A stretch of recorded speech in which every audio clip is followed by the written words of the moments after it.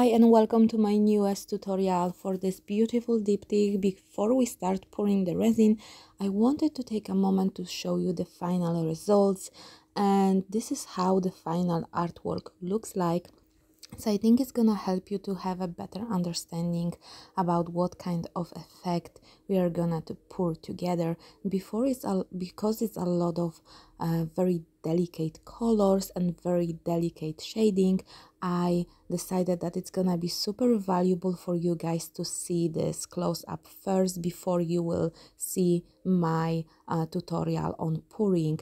And you can see the glitter how the glitter looks like around the druzy how the white shade and ombre effect with the gray how the green color looks like because we are building here the opacity and we're going between transparent and more milky foggy white looking uh, green color. And then we are building up from very delicate white up to the gray ombre as well. And I'm showing you on the pour both of the panels and it's really light color that I'm pouring. That's why I want to be sure that you see those effects. But remember that I'm showing you here the final results and the final artwork where I already put the gold details. I already put uh, down uh, I did the line work. I pour um, the top coat and I also added the druzy highlights. And this this is the full look that was at the end after me completing all of the steps so if you want to see the entire class on this geode if you want to have an explanation on every single step that I'm doing, please check the description. I'm gonna put my link to the classes and you can enroll and see eight hours of class dedicated for this specific geode painting and also you can learn how to finish it differently and how to discover your own voice in the process. Okay, let's pour this beautiful geode diptych together. I have already pre-mixed my pigments in the cups and now I'm pouring first layer, which is white and silver glitter mixed in the transparent resin. I'm using for this project geode resin from Colorberry and I'm mixing it with different pigments to achieve different results. The day before I already prepared all of the crystal and druzy design and now I'm just showing you how I'm pouring the lines.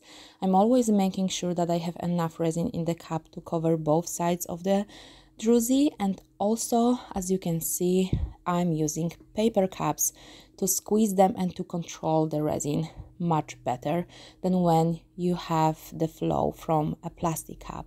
Now I'm mixing a small amount of white pigment uh, from Colorberry pigment paste into transparent resin and I'm pouring around the line with glitter and because I'm using the first lines are very light very white there is not much you can see but I'm adding with each line I'm adding a little bit more of white pigment paste to build the opacity and as you can see my technique of pouring resin is to working with small lines and I'm building one line at a time.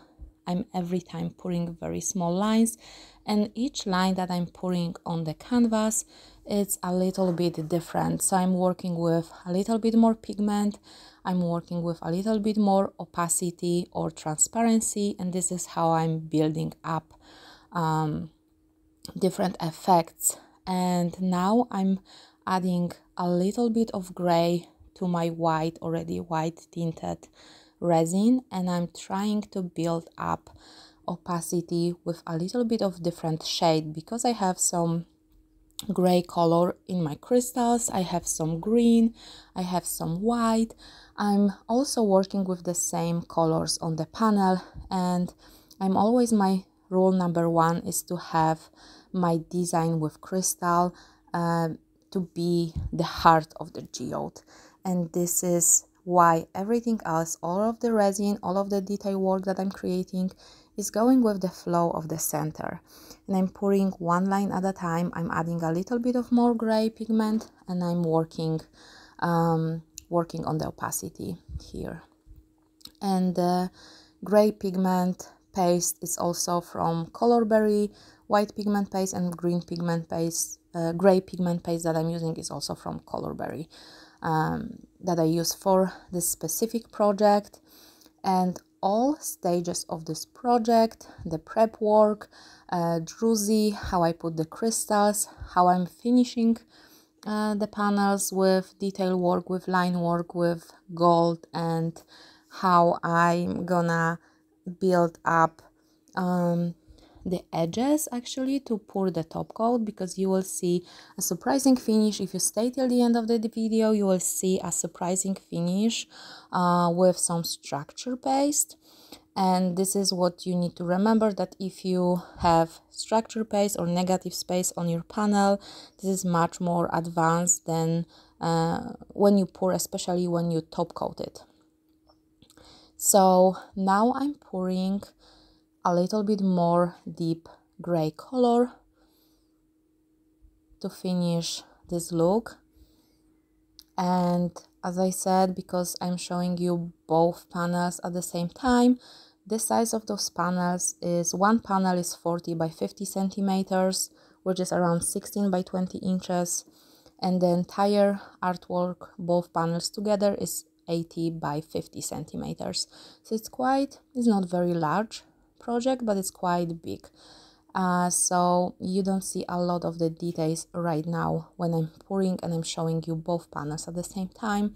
But I hope that the explanation is gonna be sufficient and now I'm pouring line. I'm finishing the design with gray with transparent resin mixed with a little bit of iridescent white glitter. This is what I do before I move to green and now I use alcohol ink that I matched with my crystals.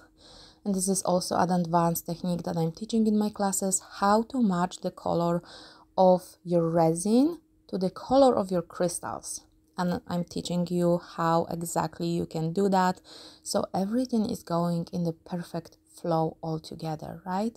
Because I want the resin to complement my crystal design. That's why I want to make sure that the resin is matching the shade of the green that I'm having in the crystals. And I'm building now the opacity.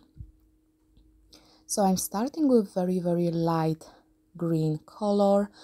Uh, and this is what you need to remember when you are building the opacity. Always start with small amount of pigment and build up from there and you will then see amazing results. You can always add more pigment, but you can never take it out from the cup. So always remember to do that and you can always test a little bit of the resin, tinted resin on your panel to see how it looks like. And now I decided to add a tiny bit amount like mosquito fart amount of white pigment into my green uh, to make it a little bit more foggy milky look. And I'm just building the the opacity here. And I'm using my stick to collect the, connect the lines because this is helping me to do geode shaping but also to feel better the piece how everything is flowing um, before the resin spread by itself and of course at the, the, the longer you work with resin the more jelly jelly is getting and the more difficult it is to pour it. And I feel like the more work I need to do to connect the lines with the stick if I want to feel the flow of the painting. And right now I'm still working on building the opacity so I added a little bit more white here and I'm pouring another line as you can see, I'm working with very small lines, as I mentioned at the beginning of this pour. I'm using the stick a lot. And always remember, my pro tip is to always remember how much resin. Um, be very cautious about the amount of resin so it's enough to pour around both sides of the druzy on both panels because it's so difficult to then mix this another batch of resin. If you will be like out of the resin halfway it's very very difficult to mix another batch of resin that is gonna match exactly the previous mixture.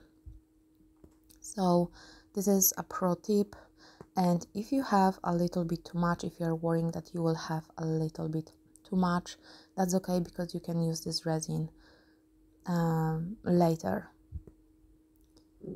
and now I'm adding green glitter. I have like a green glitter for nail art and this is actually the second part of the video.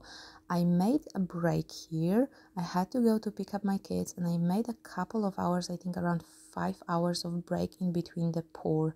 I finished um, my pour with some glitter lines and with green glitter that I had for nail art. Very soft green glitter. And and now I'm mixing another batch of the resin to continue pouring. So it's completely new batch of the resin. And my pro tip for you guys is to always use art calculator um, like resin calculator. I'm using ArtResin for colorberry because she doesn't have her own calculator but i'm always calculating how much resin do i need for the project. And if you're just starting out please remember to not mix more than 300 milliliters of resin at a time. You can always mix another batch of resin but if you mix too much resin and you are pouring slower then it can be a lot of waste in your cup because the resin at some point it's gonna be so hard that you will not be able to pour it. You can still use the stick to spread it but not really pour it. And i'm just working again back with white pigment. So i'm doing exactly the same look very soft white that i started at the beginning of my pour. So i'm going back to white color and I'm going from very soft white to a little bit more grayish white. And now I'm pouring the white that it's mixed with a tiny bit amount of gray. And my last line is gonna be almost last line is gonna be a little bit more darker gray. And then I'm gonna finish it with completely different pigment powder mica powder which is um, diamond earrings from Faux Rizzle. But it's a pigment that it's not very easily uh, accessible in Europe. So if you are in a place that you cannot get a specific pigment color, uh, you can also finish this painting with a very, very fine champagne gold. It's gonna give you very very similar look to the one that I'm gonna have in just a moment. And I also decided to actually finish my pour sooner and to not complete uh, to not finish the pouring the the entire panel. And I decided instead to choose a negative space with some structure paste which you will see in just a moment. But now before I end up I'm having first after the gray I'm having just iridescent glitter. It's the glitter that it's matching exactly the same one that I used at the end of my grayish lines in the previous. Before I started to pour green I also finished my look with iridescent white mixed with transparent resin and this is what I'm doing now. And my last line is gonna be the look that it's very much close to fine champagne gold glitter but it's pigment um, diamond earrings. And I was having a small small dot at the edge of my panel with cured resin and I actually was thinking about finishing my pour. That's why I used the heat gun to warm up the resin and to remove it. And then I was using white acrylic paint to retouch the gesso on the panels. So it looks very refreshed because I was having just white gesso. And now I use a brush with a little bit of acrylic titanium white paint to make it look nice and clean. And at the end I'm gonna just apply a little bit of structure paste. And if you want to like I mentioned if you want to see the exact my you know in real life pour because this video is speeded up six times. This is the diamond earring pigment that I was talking about.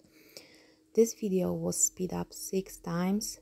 So you guys have the all of the essence. But if you want to me to pour in the real time if you want to have over over the shoulder inside look if you want to hear all of my comments if you want me to see to see how i'm mixing the colors how exactly what was the amount of pigment that i was using.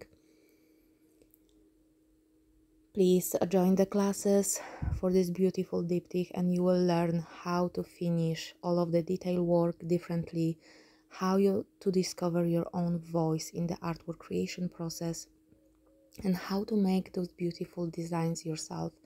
How to actually learn how to make the decisions when you are pouring because i think this is a very crucial knowledge. And yeah i'm gonna meet you in the next tutorials. I'm having also other paintings when i'm showing you how i'm pouring resin. I'm having a lot of tips and tricks advanced tips and tricks for geode paintings and at the end of this painting just remember to torch it and that's it. You don't have to use any heat gun. You cannot use heat gun. Just torch the entire surface and let it cure. And yeah and that's it. I'm gonna meet you in the next videos and i'm gonna see you there where you can learn a lot of the inside tricks from the geode artist. This is the structure paste that i use to finish the the painting from the Pebeo and a small spatula. So thank you for watching.